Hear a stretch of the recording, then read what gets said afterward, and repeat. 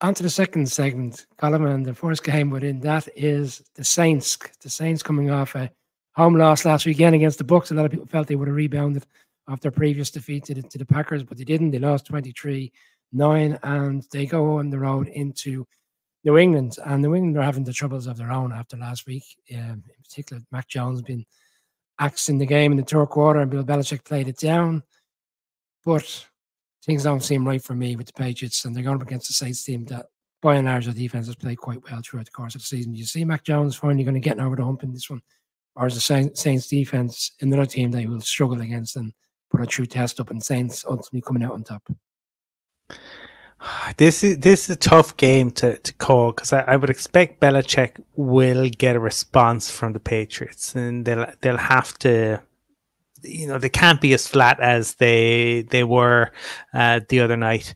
I I like the, the Saints have been fine at times, but the, to me, yeah, things look bleak in in New England, right? Because I I don't I don't think they have enough on offense to um to score points, and and even if Mac Jones gets back to where he was year one I, I just don't, yeah, I don't think it's there.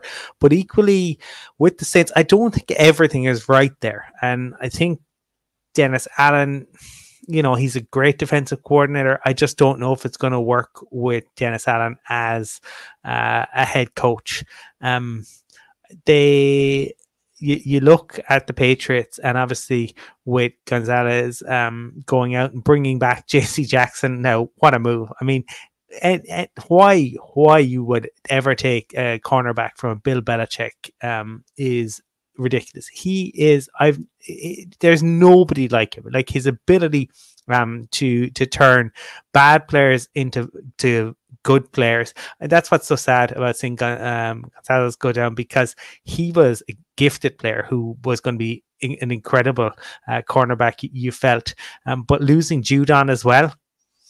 Uh, the, I'm going to go Saints, um, but th- I, am not going to expect th- this to be a high scoring game. This could be reminiscent of the Colts versus the Broncos last year.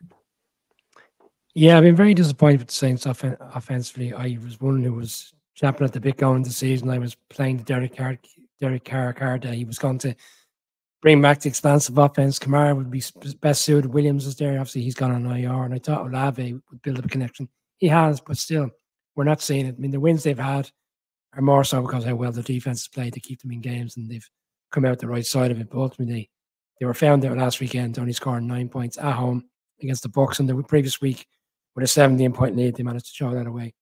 But I'm with you because you're look at the two defenses. One, you've got the Patriots defense now that are missing players. Is JC Jackson going to come in on Sunday and be able to kind of fit right in immediately. I, I like, despite the fact he was there previously and he understands the nature of what Bill Belichick.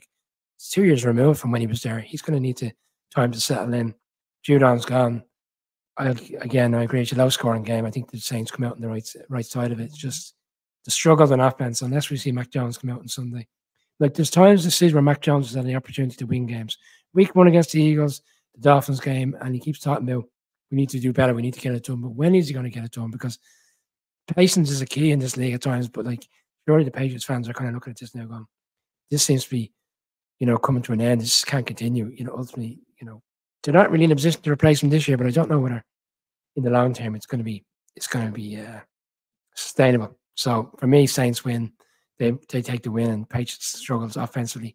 Continue and talk about offenses that can't move the ball. That brings us to the Giants. Uh, Giants on the road in Miami, and they're one team that can very much move the ball, certainly at home. And we see about 70 points up in the last home game against your beloved Broncos. Um, do you see a 70 point, 70 burger, as, as Connor would, would say? Do you see something similar on Sunday with the Giants defense also struggling? Did play better on Monday. I would say that they played a lot better, but offensively, with no, the offensive line is a complete disaster. And whether you like Daniel Jones or not, he's just not getting time to even get past the second read at the moment. Uh, yeah, I, I, I mentioned the uh, the Verve uh, a, a, little while ago.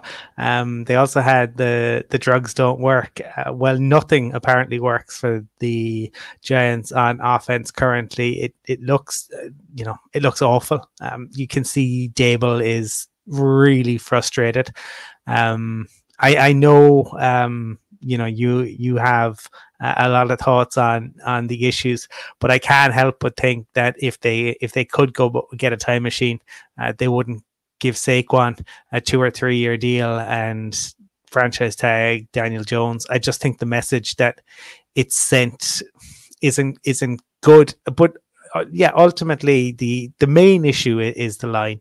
Um, and Evan Neal is a is an abject disaster. I was, I was talking to you um, earlier today, and I said they they're going to have to either move him to guard or they're just going to have to bench him. You you cannot continue with Evan Neal at, at tackle. It just it's he's going to he's going to get his QB killed.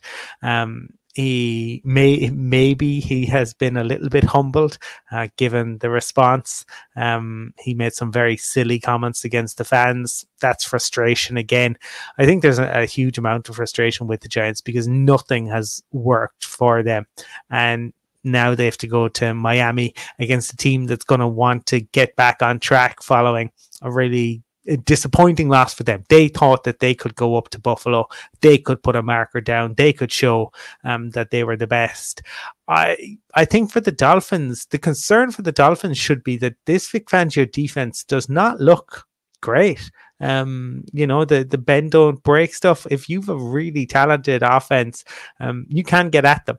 Uh, I I I think unfortunately our two respective teams don't have that. I do not see the Giants uh, conceding seventy because um, I think Wink Martindale will have them up. I did like his quip uh, that he was sleeping like a baby, in that he was up every two hours. He he was crying and going to the bathroom. Um, but I do think he'll have the Giants defensively in a better position. But yeah, I can't I can't see beyond the Dolphins. But then you say that in the NFL, right? You say that I can't see beyond the Dolphins, and then mad stuff happens, right? Um, I like the Cardinals beating the the Cowboys, but I the Dolphins need to get, need a win. Uh, they need to get ready to get over the the Bills game. So I think they get it. There's a lot of people that were suggesting last week's Bills uh, win and the manner of how the game was played in terms of them putting 48 points was a real downer for the Dolphins. But I think the Dolphins need to step back and just realize we're having a really good season. We're still tied with, with you know, we're still tied with this team at the top of the division. You know, so let's not let's not panic. You know, they still have to play each other again in Miami. That, that, that will come around again. It was the opposite way around last year. Bills went down there early in the season. Dolphins beat them. It came to December. It was a Saturday night game. The Bills reversed the result. Like we could see the same thing come come happen you know, later on the season when when the Bills have to go into Miami. But you're right, they got to get back uh, on, on, track. And to be honest, this is a perfect game for them to get back on track. Eh, and, um, and you talk about the defense. Defense against the Giants don't really have to worry at the moment in terms of the secondary and stuff. They can pin their ears back and go after the quarterback, and eh, like you would imagine, they're going to do the same. Now, it looks like Saquon is finally going to come back on Sunday. Maybe that will be a huge help and allow eh, relieve the pressure because they may have to scheme against the fact that he's back there which they haven't. Neither of the teams that they played over the past two weeks from the NFC West and the Niners and the Seattle have had to kind of concern themselves with a, with a, with a run game, which, to be honest, has been mediocre. Matt Breida went for something like 38 yards on, on Monday night.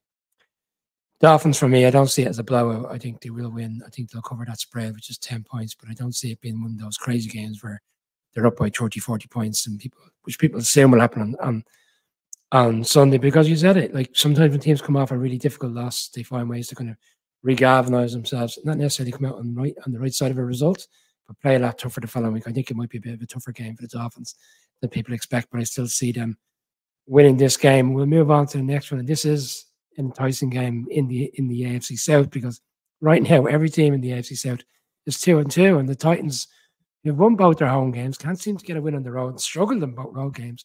Going into Indianapolis, and we talked about it in the off season when we were doing our AFC South discussions in June, in August. These teams tend to beat each other on the road. It just seems to be one of these common teams in division. They flip flop results. Do you see it this weekend? Do you think the Titans will get their first road win, or are you, are you buying into the Anthony Richardson frame, which was really impressive, bear in mind the fact that they still lost the game, but the manner that comeback against the Rams at home last weekend? Yeah, well, I think anyone who watches this uh, show or listens to the show for any length of time will know I'm a big fan of Anthony Richardson. I'm a massive fan of Shane Steichen. Uh, I think he's going to go on to do uh, big things with the, the Colts if Jim Irsay can stay out of the way. That's a big if, of course. Um, but uh, something I saw during the week, Brian, right, is most games with 100 plus yards against a single opponent since 2010. Nick Chubb has six games of more than 100 yards against the Bengals.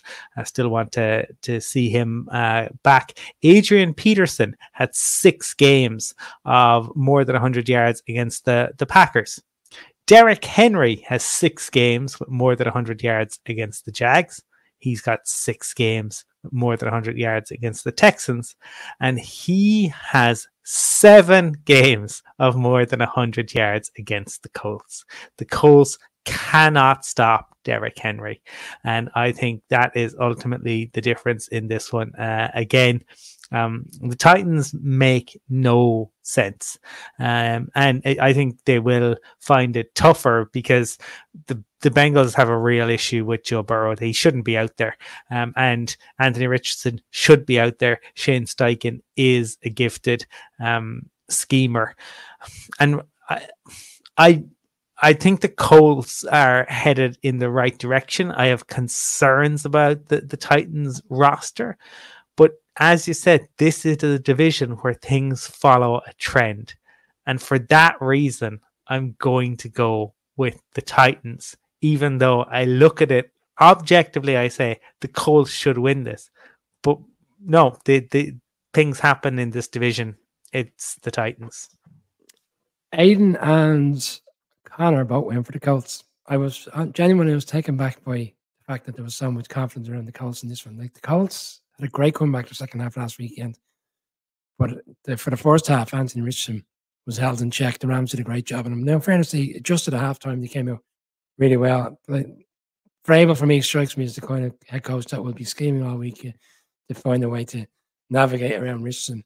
And I'm with you. I think I think the Titans are quietly going about their business at the moment. They struggled on the road in the other two games. This game will be more suited to them. It's in the dome, in um, well undercover, shall we say, in in the and I have them coming out the right side. I think this is the game we see Derrick Henry.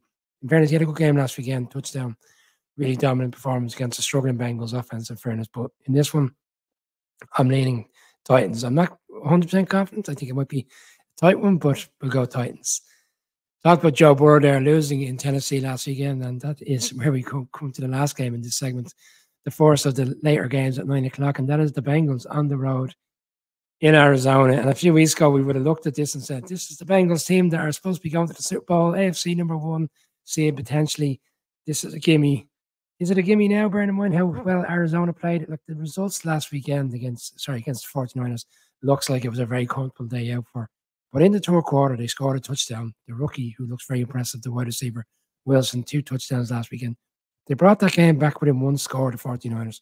49ers pull away in the fourth quarter they're playing really well for his head coach. We didn't see it coming. We thought Gannon was, you know, we saw all the off the field stuff leading up to the season. We weren't convinced, but he is getting a tune out of him. Do they find a way to get to cause a shock again? Another home game, Can't see another shock against one of the teams that are expected to be there thereabouts come the end of the season. I I think they could, Brian, because I just don't think Burrow should be out there. I mean, he cannot drive the the ball. He can't move properly in the the pocket. Um, they they're putting him they're putting him out there. I think, and he's going out there because he's so important to them, and because he he did sign the contract, and I think he feels a degree of pressure because of that. Um, and uh, I, you know, the the Tom Moore story uh, famously comes to to mind around Peyton Manning and not giving snaps to the backup, and that's where the Bengals find themselves, you know, um, because they they have to to play Burrow, but I just don't think that calf is is right, and you just see it. Like there, I saw a compilation of um, passes uh, on um, a video during the, the week, and he he's no power. My God, he's got no power. He looks, um, you know, like an aging QB. Now he will get it back. right? But what they would have been infinitely better doing is allowing him to sit out the first month of the, the season. But they didn't. He tweaked it again. I'm I'm going to go with the shock here. Um, and and and the Bengals were my Super Bowl pick, lest we forget. Uh, I thought they were absolutely all set up for it. Um, but um, the the Cardinals players are playing for their careers in the NFL and for future contracts. And um, yeah, I'm gonna say they they shock. Uh, whether it, it as I think you're right, it it's not as big a shock as it once would have been, um, but it would still be a surprise. When we did our Croke Park show, and I we spoke with the Browns hosting the Bengals, and I said Browns because I said people are playing this conversation down. We've seen it in the past. We saw it with Matthew Stafford's injury last year. People were suggesting, no, everything's fine. I wasn't convinced, and it's come to fruition. He's not playing well. You saw last weekend. You're right. I saw the coverage during the week. He looks like a guy that just can't show it, but you just can't put the velocity in the shows that we once saw. And look, it will, as you said, it'll come around again. You know, come the end of the season, he might pick up the injury, might clear up.